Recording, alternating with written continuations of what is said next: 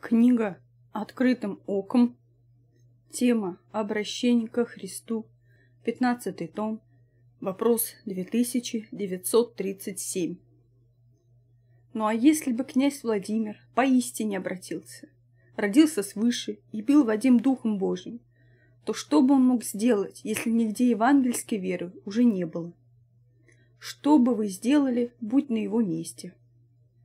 Отвечает Игнатий Тихонович Лапкин.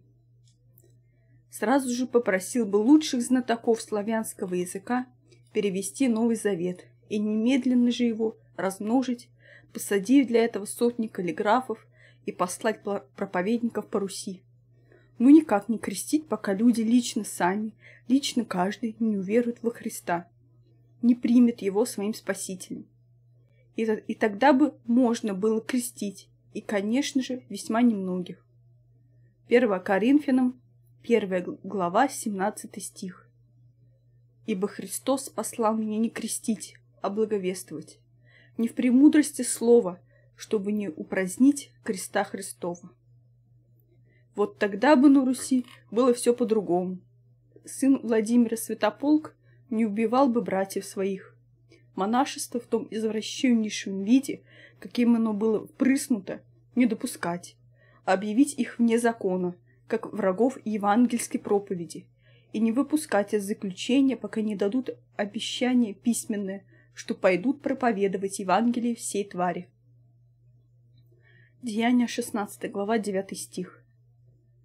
«И было ночью видение Павлу, предстал некий муж, македонянин, прося его и говоря, «Приди в Македонию и помоги нам».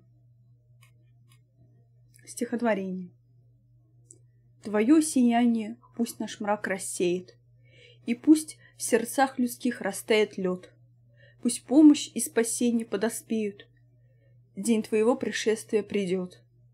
Да снизойдет твоя святая воля На нас и реки милости твоей, Да напоят искус иссохнувшее поле Моих страданий вернутых костей.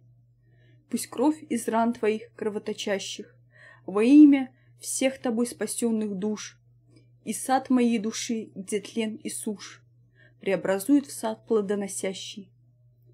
Последний день земного бытия и в первый день святого воскресенья пусть возвратится вновь душа моя, которую убили прегрешения.